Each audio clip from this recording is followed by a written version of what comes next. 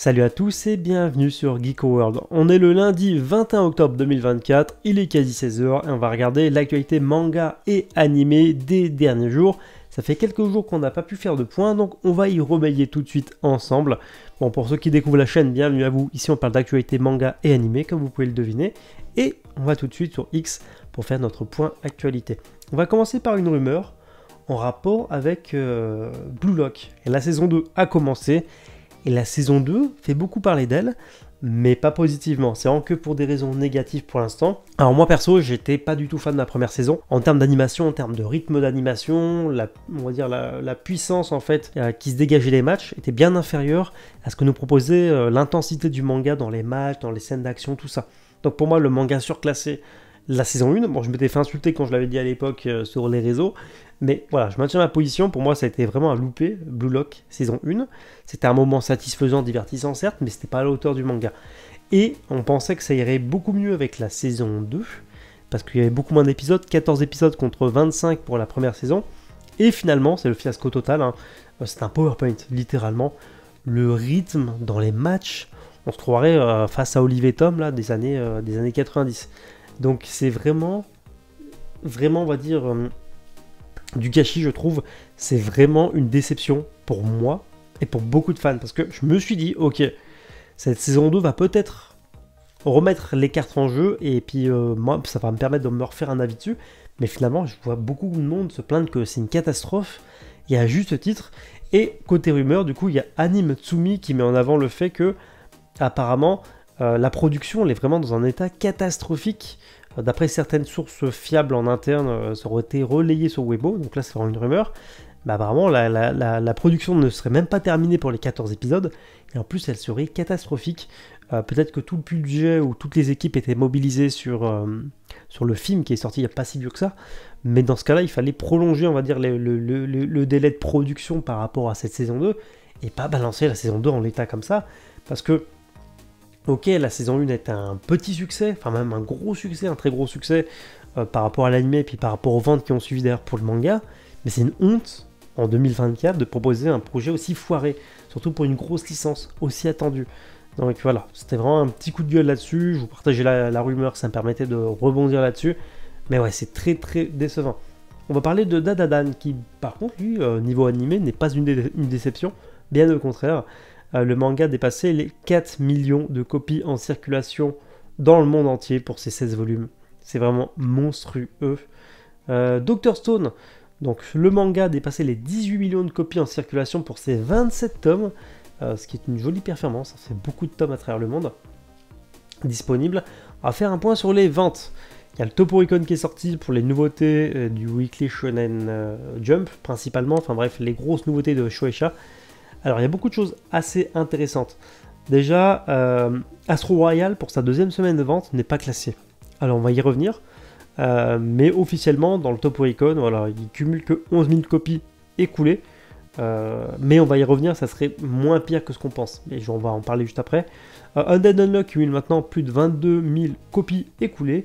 Mission Yozakura Family est un peu plus en avance, on va dire, en termes de vente, avec 25 euh, 000 copies écoulées, quasi 26 000. Blue Box, un gros stand pour Blue Box. Euh, le manga enchaîne en deux semaines 88 500 exemplaires écoulés. Euh, clairement, quand le manga, je pense que si l'anime prend, à condition que l'anime prend, si l'anime prend, je pense qu'il arrivera à dépasser aisément les 100 000 en une semaine. on verra bien si le succès est au rendez-vous ou pas. Kagurabashi, juste monstrueux. On est sur 4 euh, tomes pour Kagurabashi. Et déjà, il surperforme déjà en fait tous les anciens du magazine quasi. Euh, Undead Unlock, Mission Yosakura, euh, Blue Box. Le manga n'a que 4 tomes. C'est vraiment un phénomène, on s'en rend vraiment pas compte. 4 hein. tomes, il dépasse déjà aisément à peine 15 jours là, les, les 100 000 copies. 106 300 copies écoulées. C'est juste dingue. Et après, sur des autres sommets, bien sûr, on n'est pas sur les mêmes rapports. On n'est pas sur le même impact culturel, clairement. C'est Jujutsu Kaisen avec euh, plus de 700 000 euh, copies écoulées. Voilà. Le manga est toujours en grande forme, il se dirige largement vers les 1 million de copies écoulées pour ce nouveau volume. Voilà pour le point sur les ventes. Je voulais vous rassurer pour les fans d'Astro Royal, parce que c'est un manga que je suis avec attention également en, termes de chiffres, j'aimerais bien que ça continue. Euh, alors, d'après une estimation du Shoseki, le manga aurait fait, donc Astro Royal aurait fait plus de 10 000 copies, enfin, copies écoulées pour sa deuxième semaine, ce qui l'emmènerait apparemment à un peu plus de 21 000 copies écoulées, quasi 22 000, voilà.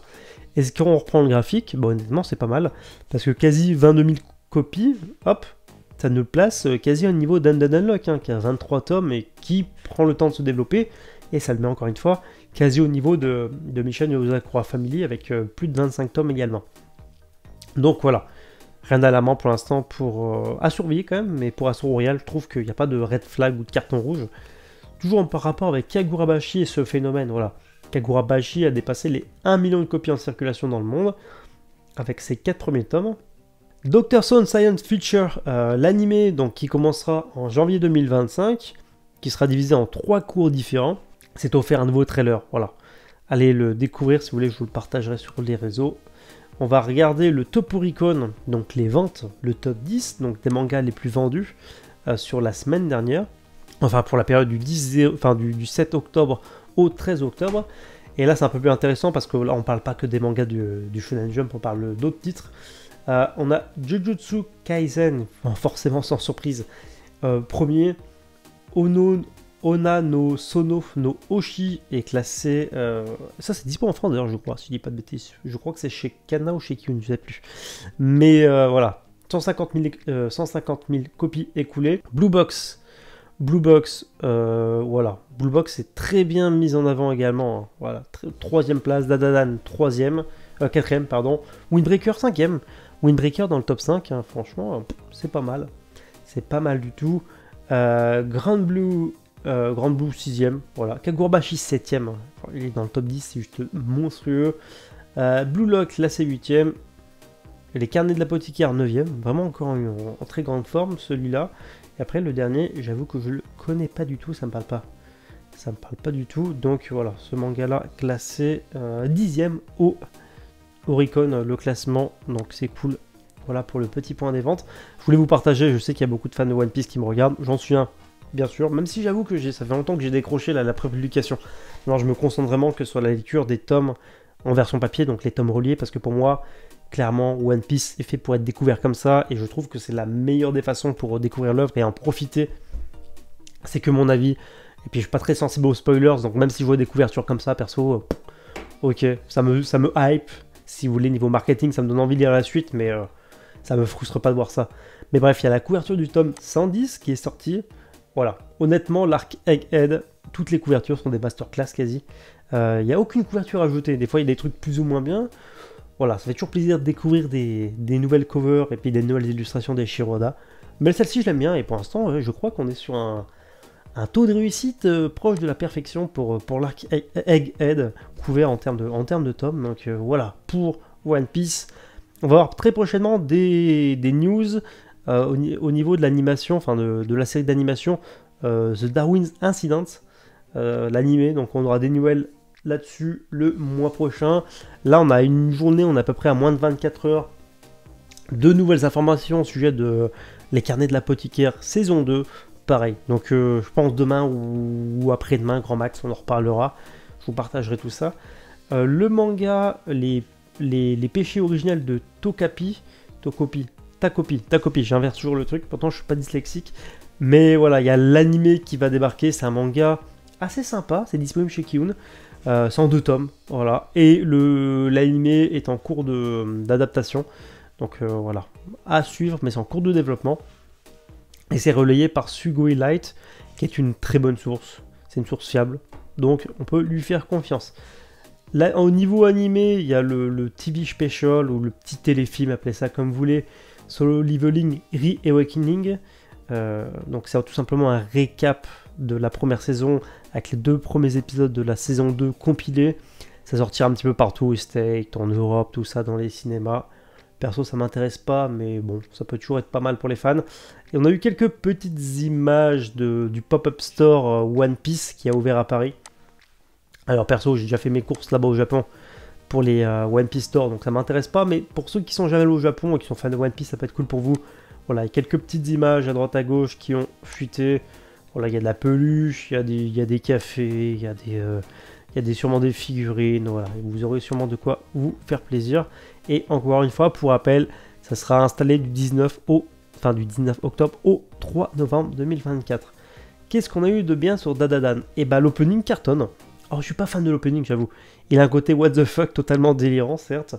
Mais c'est pas le truc qui me prend le plus par la main et qui m'entraîne. Je trouve pas que c'est hyper entraînant. Mais par contre, l'opening a un petit succès parce que sur la chaîne YouTube euh, de Crunchyroll, on dépasse les 10 millions de, vues pour euh, l'opening. Donc c'est très cool. ça prouve que ça plaît aux gens. C'est un vieux projet ça. Et Dan Zero, le RPG, le jeu, enfin le jeu vidéo, écrit et basé sur Hiro Mashima, supervisé par Hiro Mashima.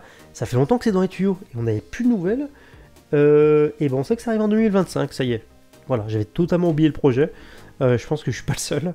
Mais bref, tenez bon parce que ça arrive. Et une, euh, nouvelle assez intéressante au sujet de la pause de Eshiroda. Vous le savez, le manga One Piece va être en pause pendant deux semaines dans Shonen Jump. Eshiroda prend une pause, donc c'est logique, c'est l'auteur du manga, donc forcément, si le manga est absent, lui est également absent. Et en fait, pour une fois, on a pris la raison. Euh, c'est pas une raison de santé ou quoi. C'est tout simplement que Eshiroda, il va se concentrer sur le développement de, euh, One Piece, la, série live action, saison 2. Donc voilà. Il va bosser là-dessus, donc ça lui prend du temps. Il va s'impliquer dans le projet et développement de la deuxième saison. Et donc, en attendant, euh, voilà. C'est pour ça que le manga est en pause. C'est pas pour des raisons médicales, donc c'est tant mieux. Et je crois que ça sera le mot de la fin je vous partage la couverture de Sakamoto Days, tome 19. J'adore vous partager des couvertures. Et bien que je sois pas un méga fan de Sakamoto Days, faut avouer que les couvertures, je pense que là on sera tous d'accord pour dire que c'est quasi les mêmes, mais les meilleures couvertures euh, par rapport au manga du Shonen Jump actuellement. Euh, chaque couverture c'est une masterclass, c'est hyper dynamique, euh, vraiment c'est assez dingue, ça me bluffe à chaque fois. Donc voilà, n'hésitez pas à me donner votre avis là-dessus en commentaire. Et écoutez sur ce, c'est tout pour cette vidéo, je vous dis à demain peut-être pour un point d'actualité s'il y a de quoi causer bien sûr. Et n'hésitez pas à vous abonner à la chaîne, lâchez les pouces bleus et à bientôt.